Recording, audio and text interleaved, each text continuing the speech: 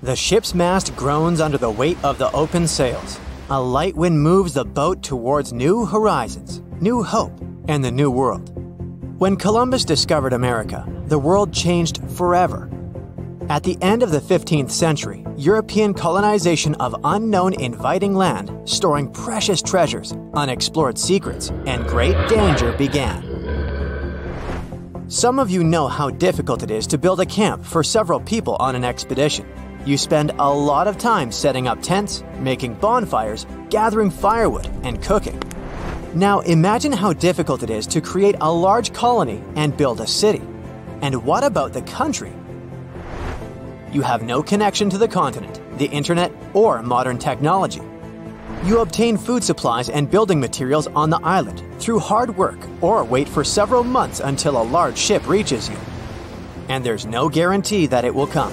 It can get caught in a storm, go off course, or disappear mysteriously.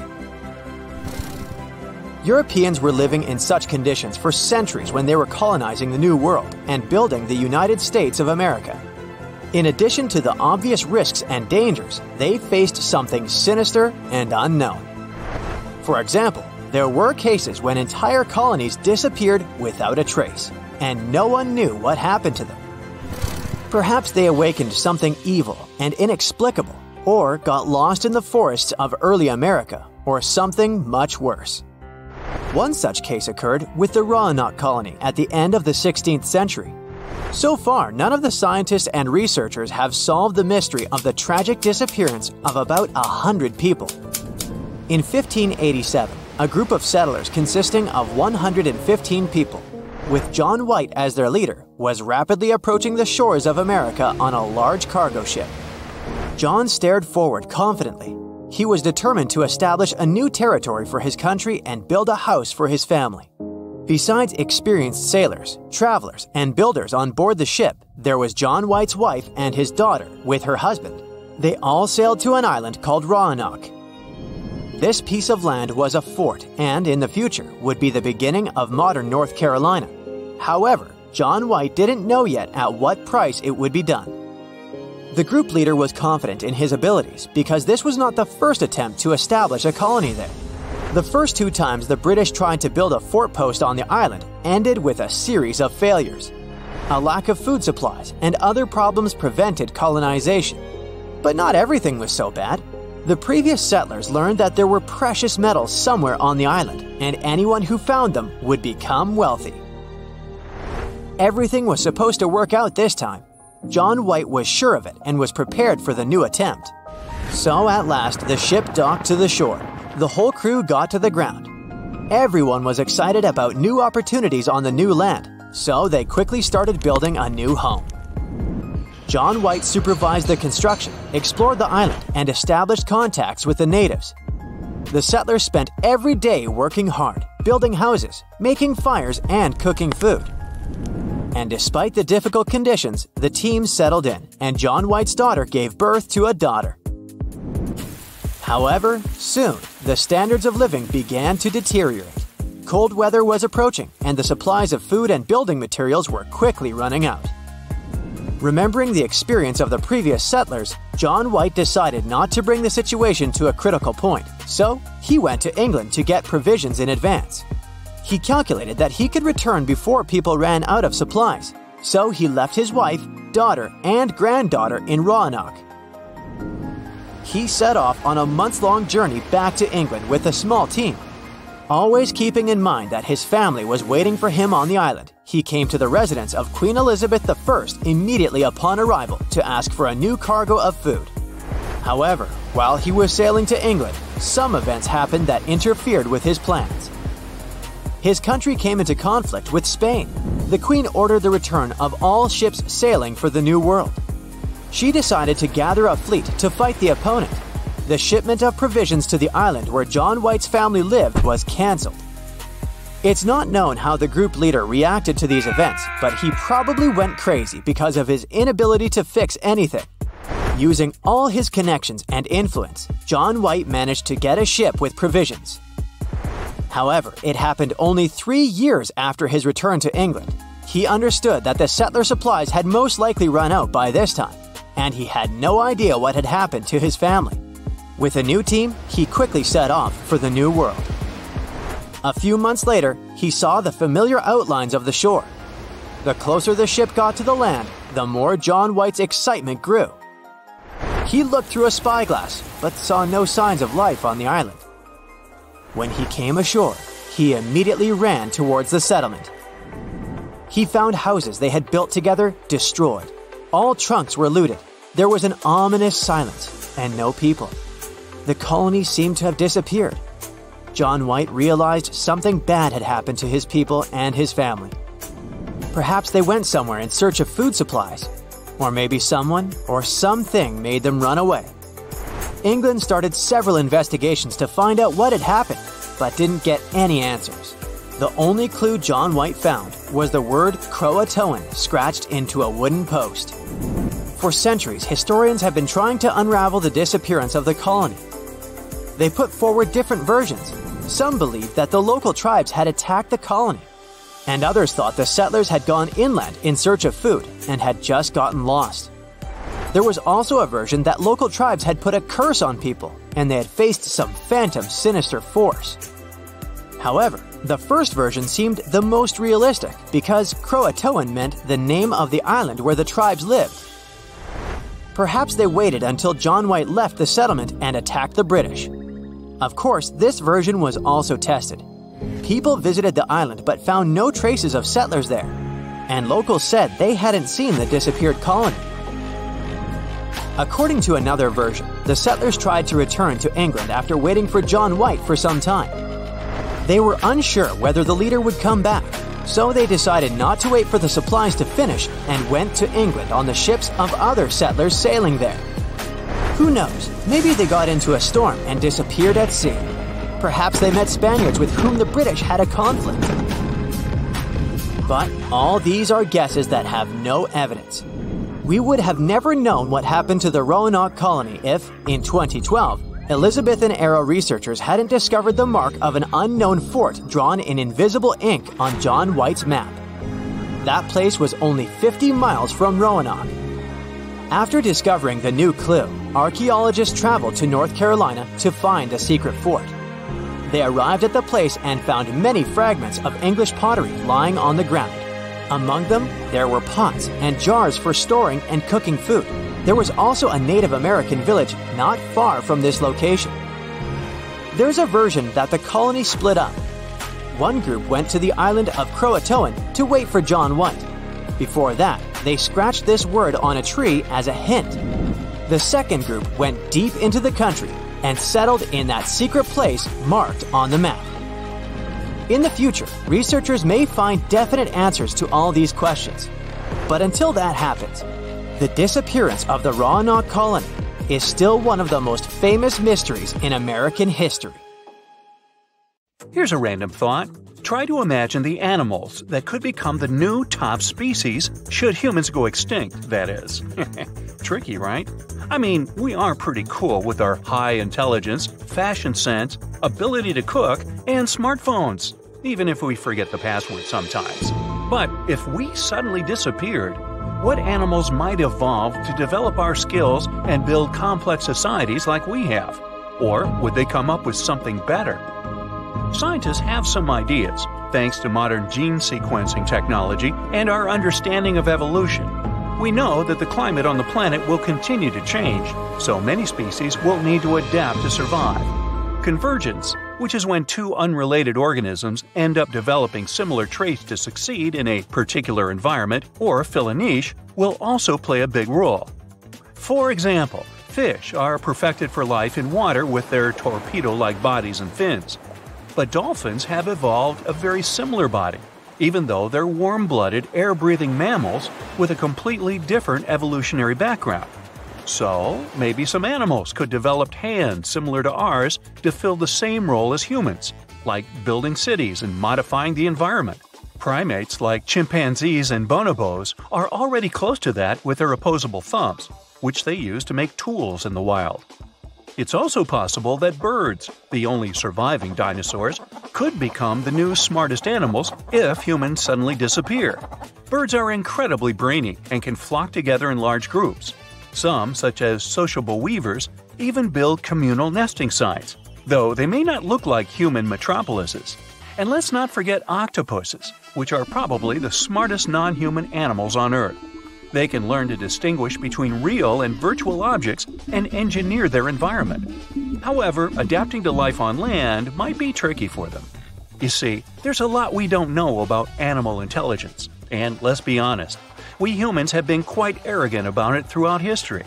In the past, people used to think that animal intelligence could be neatly organized into a hierarchy, with humans at the top and insects at the bottom. But in the 1960s, a new generation of researchers challenged this idea and suggested that intelligence should be measured in relative rather than absolute terms. As technology has improved, we've been able to see animals for longer without disturbing them, and we've discovered they are far more intelligent than we once thought. For example, researchers in Melbourne are using remote controlled drones to study the breeding patterns of southern right whales, and artificial intelligence is helping us track and predict the movements of all sorts of creatures. It's funny how we tend to recognize intelligence in animals when their behavior is similar to our own. Dolphins, for example, use names and even have accents. In fact, researchers have found that dolphins in southern Brazil have developed a distinct accent after interacting with local fishers for over hundred years. But it's not just mammals that are intelligent. Birds and insects are pretty smart too. Parrots, for example, have complex social groups and can differentiate between members of their species based on their relationships with each other. And even though their brains are tiny, like mine, insects are capable of some pretty impressive cognitive feats, like tool use and learning by observation. We used to think that intelligence was unique to humans and maybe a few other primates, but now we know that's not the case. In fact, research has shown that intelligence is distributed in different ways across the animal kingdom. Some animals excel in one area, but may not be as good in another. It's all about the environmental pressures that each species faces and how they adapt to them. We all know about the usual suspects when it comes to high intelligence in the animal kingdom chimps, dogs, dolphins, blah blah blah. But there are some unexpected additions to the list that might surprise you. And you might even have one of them napping in your lap right now. I'm talking about our feline friends, house cats. They're renowned masters of getting treats and avoiding baths. But did you know they're also pretty smart? Cats have an amazing ability to learn from observation and repetition, which is why we've coined the term copycats. And some cats, like the one in this next story named Nora, take it to the next level. Nora's owner spends her days teaching kids to play piano, and this cat was getting a little jealous of all the attention they were receiving. So, what did she do? She watched them closely, picked up on their movements, and started tapping away at the keys herself. And you know what? It worked. Nora's owner and the kids were amazed, and Nora became a little bit of a piano sensation. She even sits at the piano like a proper piano student. Just because she doesn't have opposable thumbs doesn't mean she can't be a musical prodigy, but wider paws would help to hit those octaves. The next story is about rats. Now, don't jump on the couch in fear just yet. And before you go calling them pests, did you know that some rats are actually helping save lives? Researchers in Africa have been training these furry little detectives to sniff out lung disease in saliva samples, and they're really good at it too. These rats have a nose for the job and can detect different scents that are needed to show whether a sample contains a certain bacterium or not. Now, you might be wondering why rats were chosen for this important job. It's because they're super smart and quick learners. These rats go through a series of training exercises to learn how to sniff out different samples. They then alert their trainers to which samples hold bacteria. And get this, they can do it in just 7 minutes, a task that would take a human scientist a full day of testing. These rats can do in a fraction of the time. Dr. Rat. Ooh. Now, ever heard of Nellie the pig? She's surely not your average swine. This clever piggy has proved that animal intelligence goes way beyond just performing tricks. Nellie was presented with a series of challenges, including putting differently shaped items through a hoop. Now, while she was being taught to put round objects through a round hoop, Nellie decided to take it to the next level.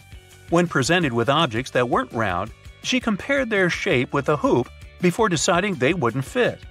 This pig has some serious problem solving skills.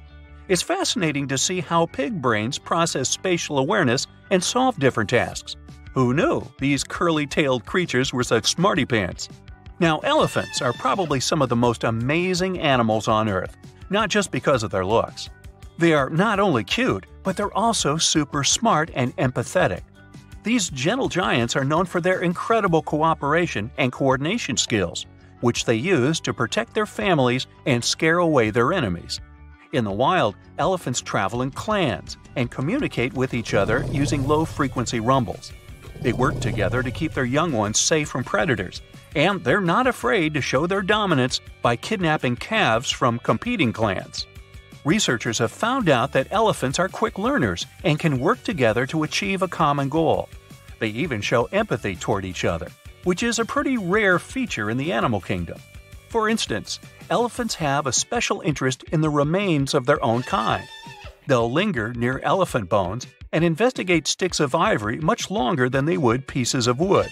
Also, when an elephant is feeling upset, other elephants will come to comfort it by stroking its head with their trunks or even putting their trunk in its mouth. Now, how sweet is that? In 2010, one elephant in particular really impressed scientists with his skills. He was seen eyeing some tasty fruit just out of his trunk's reach. After pondering for a few days, he had his aha moment. He discovered a large plastic block and used it as a stepping stool to reach the fruit. He continued to use his newfound tool skills to reach even higher places, stacking blocks to get his favorite treat. Now, by this time, you've surely heard about strange phenomena happening in the Bermuda Triangle, like strong waves or even a vortex from time to time. But there's another territory equally as mysterious, only this time it's on land. It's called the Bennington Triangle. Some have argued that there must be some inexplicable force wreaking havoc here in this region, responsible for disappearances and unexplained phenomena. This location is also connected to Native American folklore, which further adds to its mystery. For some events, there are perfectly rational explanations. For others, we've yet to find out the truth. But let's start looking at this region's history. The unusual triangle is located in southwestern Vermont in the United States. Before any weird occurrences took place here, the area was occupied by the Abenaki tribe, first discovered in the 1600s. They were indigenous people that we know have lived throughout portions of Canada and the U.S. Their beliefs were strongly connected to the local weather. The Abenaki people thought one of their major spirits, named Tabaldak, lived on the peak of the Glastonbury Mountain. Since the winds here tend to be pretty fussy, these tribespeople believed Tabaldak created a dangerous creature made out of rocks on these peaks, meant to scare people away. Years later, in the 1700s, this region became the location for a town called Glastonbury. It reached its peak popularity in the 19th century, but even then, the population never exceeded 250 people. These days, it is nothing more than a ghost town, with only four families living here in 2000. Sure, on one hand, the town was flooded in its entirety at one point, so this may be a reason why people chose to leave the area. But there is more. To this day, many felonies that happened here have yet to be solved. One story speaks of a man that attacked a coworker, claiming he heard voices telling him to do so. Another one tells the story of a man that eventually lost his life after going hunting, despite no one being around him at the time, not even wildlife. Then there's the legend of a local wild man who was known to scare people in the towns of Bennington and Glastonbury.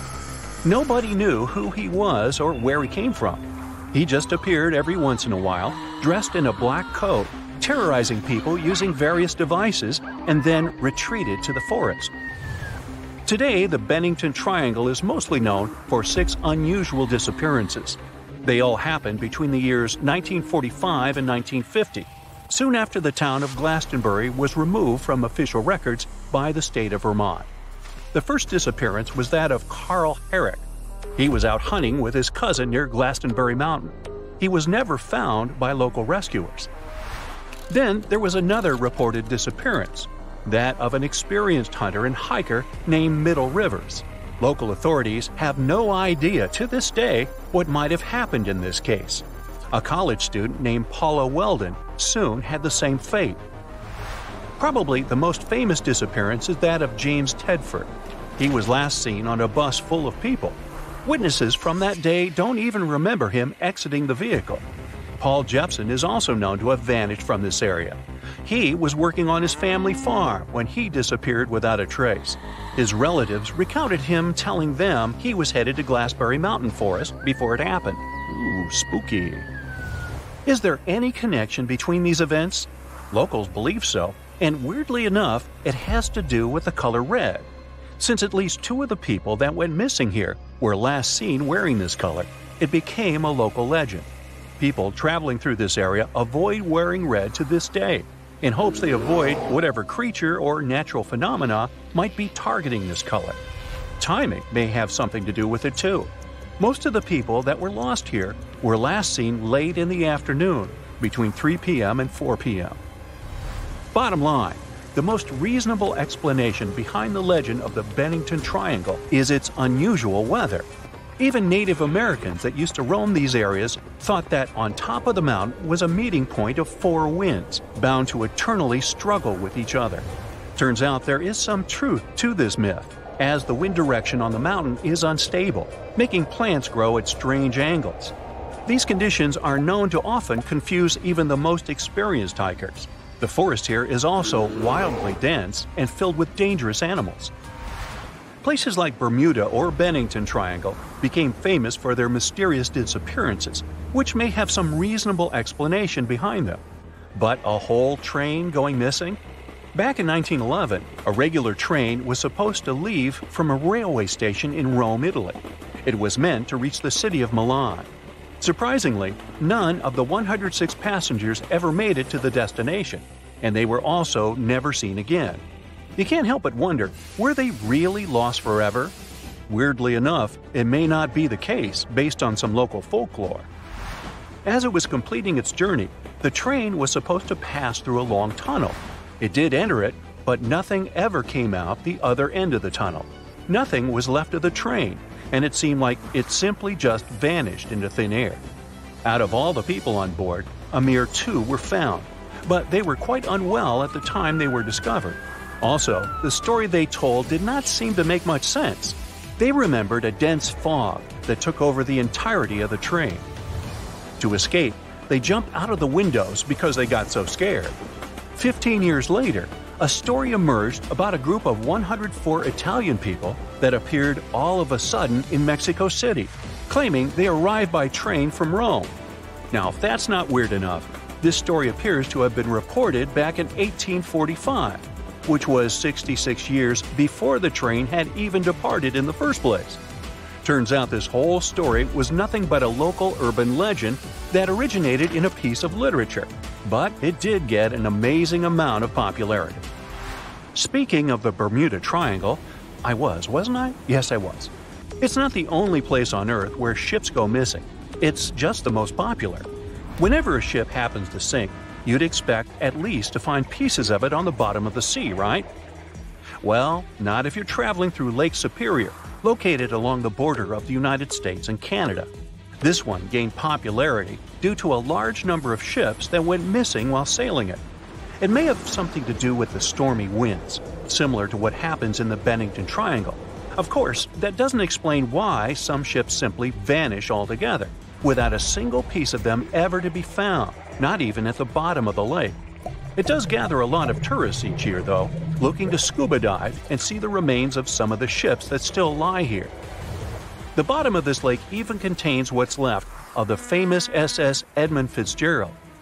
Back when it departed on June 7, 1958, it was the largest ship on North America's Great Lakes, and to this day, it's still the largest ship ever to have sunk in the area. Why this ship sank in the first place is yet another mystery. Yosemite National Park is one of the most popular natural resorts in the world, but it does hide dark secrets of its own. Despite its beauty and abundance of wildlife, a total of 45 people went missing right here in this location and were never found again. There are even stories of people that disappeared from one area of the park only to be stumbled upon in a completely different location, with some of their clothes missing, no less. This hasn't stopped the over 3 million people from visiting the park each year, but many of them do dress in layers.